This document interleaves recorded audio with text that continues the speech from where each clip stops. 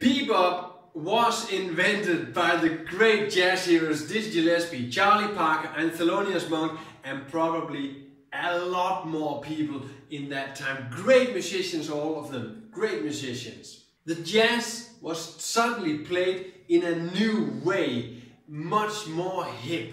These people created a new sound, a new way to play jazz music.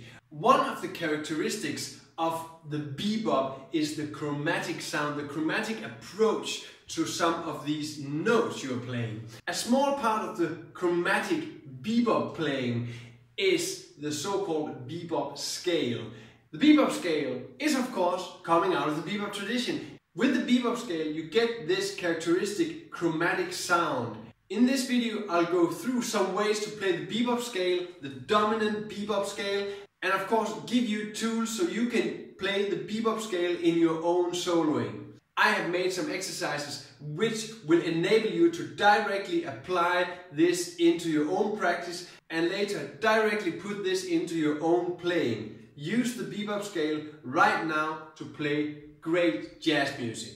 In the end of the video, I'll of course give you some extras. There's coming up two 251 licks where I'm using the bebop dominant scale. Great exercise and examples coming up right now. Hi, I'm Søren Ballegaard and welcome to Søren's online saxophone lessons. Thank you for watching my YouTube channel and checking out this video on bebop scales.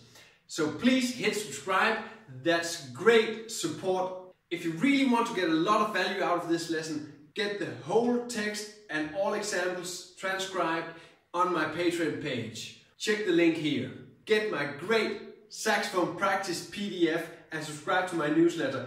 You will get a download link when you have subscribed. Let's get on with it. This is the bebop scale. The dominant bebop scale is commonly used on the dominant chord, so the fifth degree of our normal major or minor scale, the fifth degree. On a common 251, you will definitely play the bebop scale on the 5. The dominant bebop scale is derived from the normal diatonic dominant scale which you see here. To get the bebop scale out of this dominant scale, we add a chromatic step between the root and the seventh. In this scale, we'll have the root, which is the G, and the seventh, which is the F. We add the F sharp.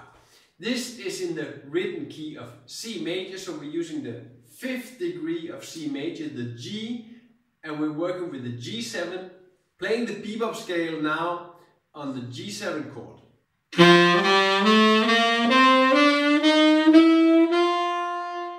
You see, we add this extra note right there.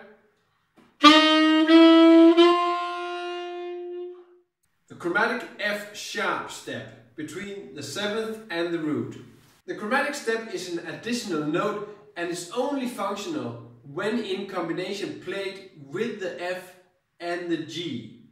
It's not a note in the scale.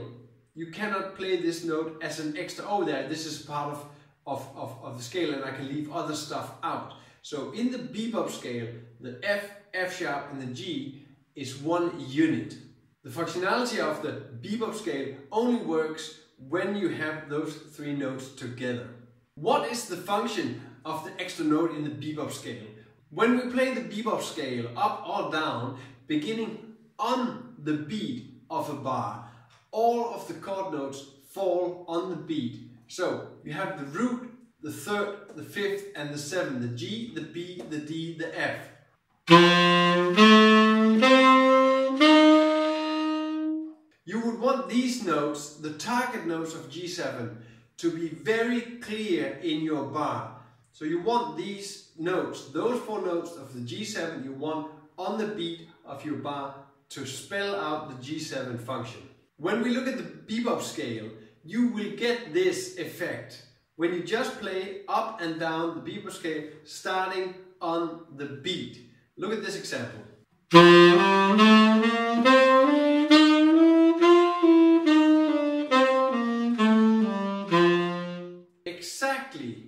On the beat you get all the G7 notes, all the target notes, all the chord notes of the G7, you get them on the beat exactly as you want. What you also see now is it does not matter which beat we begin on. We can begin on the first, second, third or fourth beat of 4 beat bar. It doesn't matter. You will always, as long as you begin on the whole beat, you will always have the target notes, the chord notes on the beats which you want when spelling out this G7 chord. This is due to the chromatic note which adds this extra, the eighth note in the bar. So when you have eight notes in the bar, you will start with the same note as you ended on in the next bar. Coming up, know your bebop scale and practice your bebop scale. To be able to use your bebop scale in improvisation, you need to know it very well. You have four starting points in the bebop scale, one for each basic chord note in the G7. I'm talking about the G, the B, the D and the F. Four starting points. You should know the bebop scale from all these points going up or going down. There are a couple of simple exercises you can do to get the bebop scale under your fingers. We begin the bebop scale starting on our four different target notes going up the scale. We keep it in one bar. First exercise, playing the bebop scale up. We begin on the G, the root of the G7, going up the scale to the F, seven notes.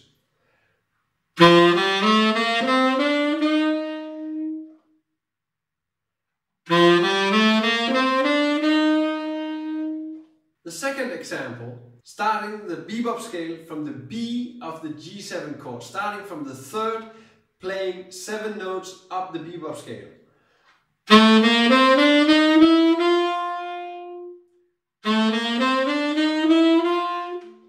Next step is starting the bebop scale on the D, the fifth of the G7.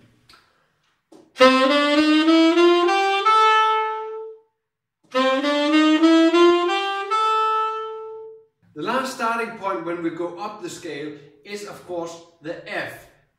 Starting on the 7th degree of the G7 chord, the F going up the bebop scale.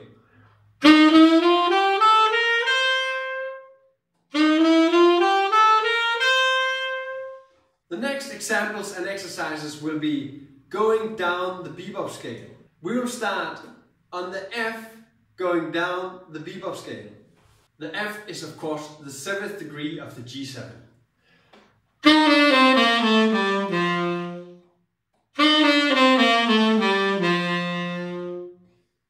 Step will be starting on the D, the fifth of the bebop scale.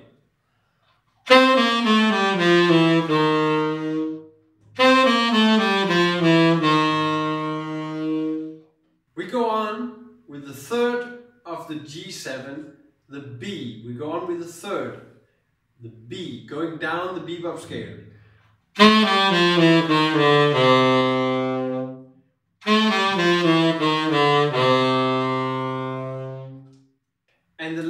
Exercise example is from the root of the G7 going down the bebop scale.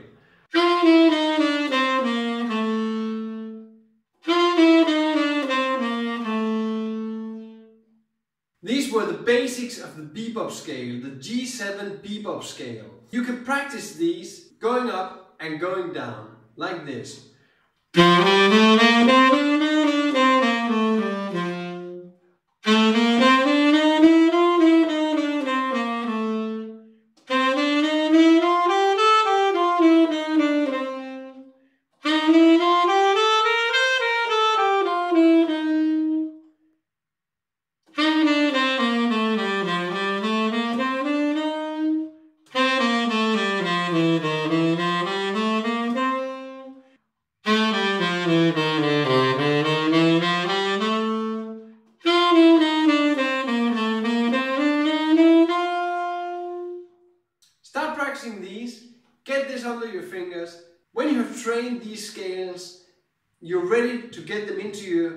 Improvisation.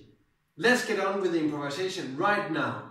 Two bebop licks coming up now. You start getting your bebop scales into your fingers and you know that on that dominant chord you're always hitting the mark because of the extra chromatic bebop note.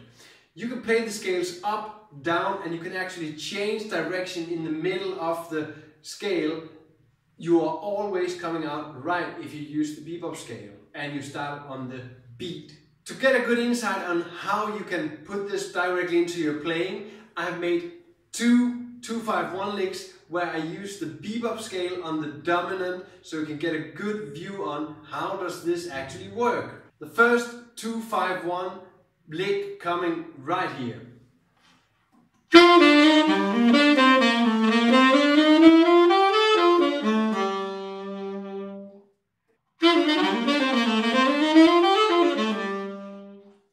I'll explain the 251 bebop lick here. I start surrounding the third of the D minor chord with the G and the E going to the F. I jump down to the A on the D minor chord, going up that minor chord A, C, E, actually surrounding the D with the C and the E, going down the scale, hitting the B on the G7 chord, running up the bebop scale, oh this wonderful bebop scale, and you see the F sharp as my bebop note going up there, ending on the C major chord, going down this wonderful arpeggio. It's actually an E minor triad, going down B, G, E, B, and ending on this wonderful, the sixth of the C major, the A. The second 2-5-1 lick using the bebop scale on the G7 chord.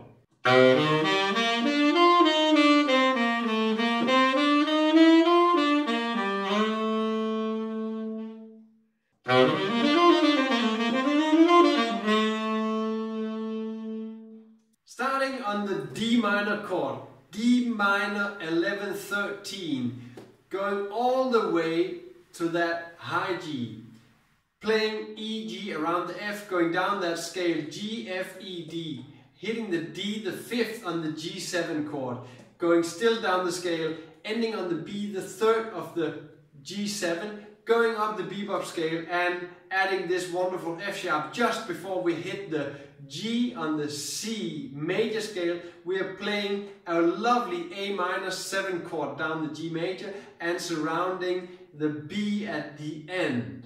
We have come to the end of this lesson, but before we end, I'll just give you a good, good tip. In the two 251 licks, I'm using surrounding notes. I have made a recent video using approach and surrounding notes. I advise you to check this video. It describes how you find out how to use these surround and approach notes. Check the video right here. In the beginning of the clip, I played this wonderful solo on Ladybird, Tadd Dameron's Ladybird. I've used some great bebop lines there. There are lots of 2-5 progressions in Ladybird, so check the full transcription out on my Patreon page. Check my Patreon page, the full transcription on my solo on Ladybird where I use a lot of bebop scales.